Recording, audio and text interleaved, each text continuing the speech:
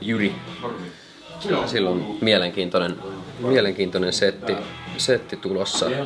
Sikäli tavanomainen bassosetuppi, että tulee kuiva signaali, tulee iso bassovahvari ja sitten tulee tuota, tuota, säröstä, säröstä signaalia tonne, tonne sitten pienen kitara nuppiin. Eli niistä blendailemalla saa sitten aika tota iskevää, iskevää särösoundia. Se mikä tässä on mielenkiintoista, niin me päästään tavallaan reitittämään tämä homma sillä lailla, että sillä on tota kaksi signaaliketjua, eli se jakaa signaalin kahtiin. Molempiin tulee, tulee vähän eri efektejä, mitkä sitten pitää saada päälle ja pois, tiety, tai tuota, ohjelmoida tietyt yhdistelmät, mitkä, mitkä tota, pitää saada yhden nappipainalluksella sitten duunattua. Eli sä oot ihan saletti, että näitä molempia geittejä tarvitaan. Eli sitä esimerkiksi geittausta ei voisi tehdä ennen. Siinä on tavallaan vähän, että et, en mä tiedä oikein, miten jengi yleensä käyttää, mutta tuossa tehdään sitä soundia niin kuin samalla. Et siihen saa vähän sen, just että äänealut on terävämpi ja lopetukset samoin. Joo.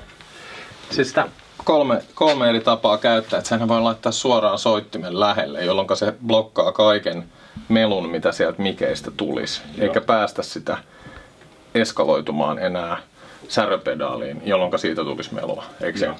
Tai sitten se tehdään just sillä että se laitetaan sinne sarjaan, sinne viimeiseksi ennen styrkkari, jolloin se leikkaa kaiken siinä. Tai sitten just tämä sen return ajattelu. Joo. Ja se, mutta jos sä oot sen kokeillut ja hyväksi havainnut ja sulla on selkeästi se sun soundi ja tota toi tatsi mietitty. Joo, sille, ne on hyvä kameralle paljastaa, mutta sillä vähän huijataan tota. mutta joo, virtalähde on pakko vaihtaa, että me saadaan toi looperi, plus että me saadaan sitten nämä spedut kaikki Joo, niin on varautunut kanssa. Joo. Mutta tää on eli-ikäinen kumppani. Joo. Eli tää on yleisimmin tuolla kentillä nähty virtalähde. Eli tää on ihan kyllä semmonen, että tähän, tähän kannattaa satsaa sit kun se hetki koittaa elämässä, niin ei ole kukaan kyllä katunut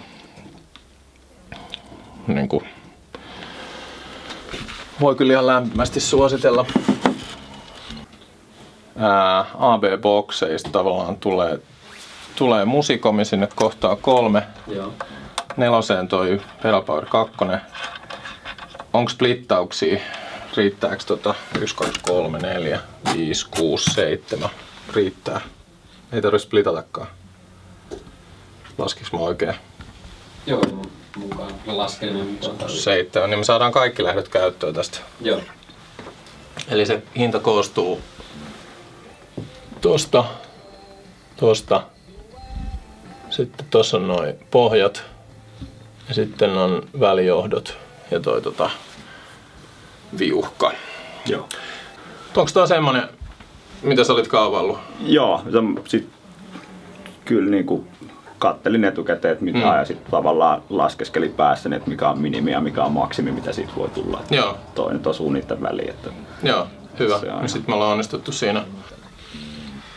Tuossa on tavallaan sellainen custom boards sisäpiiri, eli sulla on takuu, sitten sä saat mun puhelinnumero, kännykkänumeron, ja jos sulla, on, jos sulla taitaa ollakin se jo, mutta jos se on, niin saat vielä uudestaan, että jos sulla on ikinä mitään hätää sen kanssa, Joo tai tota mitään ohjelmointijuttuja ton musikomin kanssa, niin sä voit soittaa mulle milloin vaan. Okay.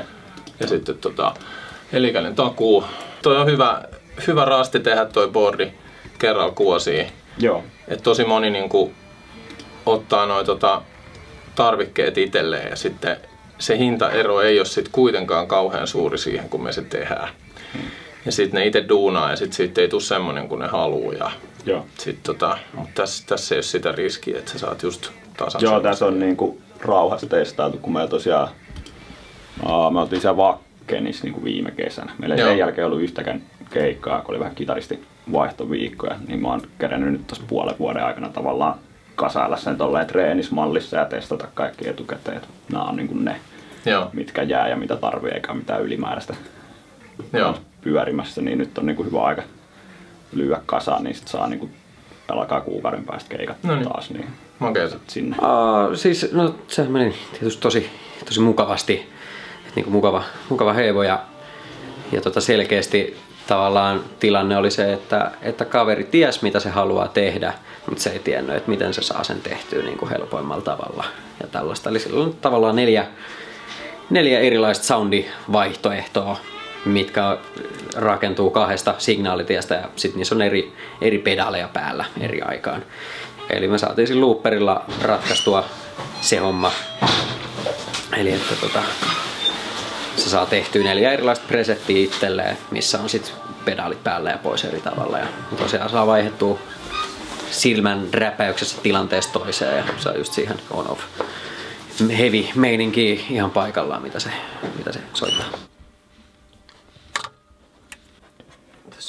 nyt ollaan tekemässä välipiuhoja, mutta eilen tota, vedettiin kaikki noin pedaalien pohjat, siivottiin sieltä kaikki kumilaput pois ja vedettiin sinne teipit tilalle. Ja ihan perusputsausta sekattiin kaikki, kaikki tota, jakit sun muut tuolla sinisellä PRFllä, ettei siellä ole mitään ylimääräisiä rutinoita. Sitten tämän boardin, boardin putsaus. Muutama välipiuha on jo kiinni, mitä mä kerkäsin tuossa aikaisemmin duunaamaan. Mutta joo, sitten tää ihan boardin pohjan pohjan sommittelu. Eli vedettiin toi tota virtalähde sinne kiinni ja, ja tota, tota, odotetaan, että saadaan nämä loput, loput kaikki elementit tänne pakettiin. Et täältä tää tulee sitten näyttämään valmiina. Ja tosiaan tätä, tätä ja tätä ohjataan sitten tällä looperilla. Nämä on loputon koko ajan päällä ja näin edespäin. Ja tuota, täältä näyttää boardi vielä toistaiseksi täältä alapuolelta, eli työsarkaa on, on vielä jonkin verran, mutta tuota, täällä on nyt kaikki, kaikki palikat on ikään kuin kiinni ja soundcheckia, soundcheckiakin on ehditty tehdä.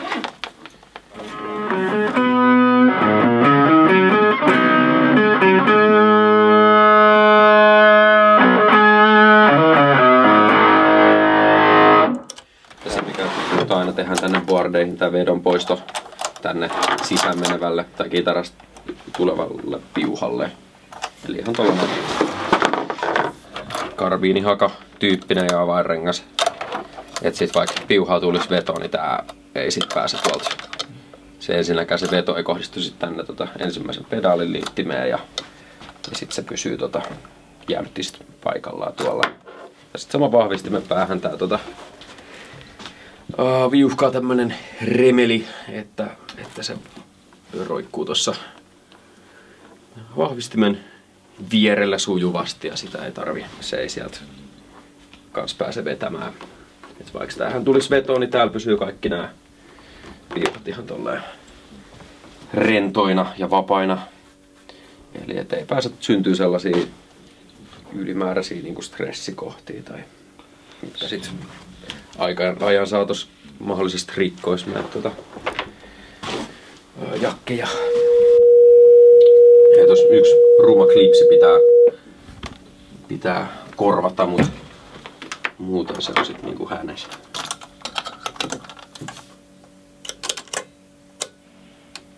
Se on aika näpsäkkä.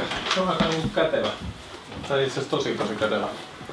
Tää siis tuli ihan törkeen täyteen tää alaosa, mutta me säästettiin muunta ja hurinoilta, mikä oli suoranainen ihme. Okei. Okay. Mutta tota, nää on ihan niinku, ihan Se on joo. niinku toisessa kiinni. Ei olisi omat kädentaidot kyllä riittänyt. Joo, ei kyllä tää on, tää on Eetulta hieno.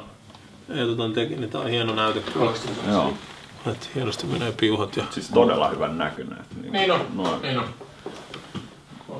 Se on pieni kokonen ja tosi miellyttävät noin kytkimet. Ja... Joo. Joo, toi tuntuu aika hyvältä kyllä jalan alla silleen. Joo. Tuntuu.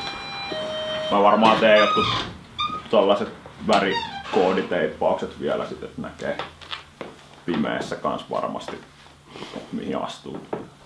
Joo, kaikki on niinku, Eikö se on? joo, mahtavaa. Thank you.